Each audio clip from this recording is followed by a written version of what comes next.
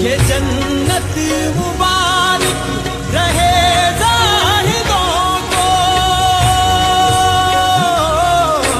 ये जन्नत मुबारक रहे जाहिदों को।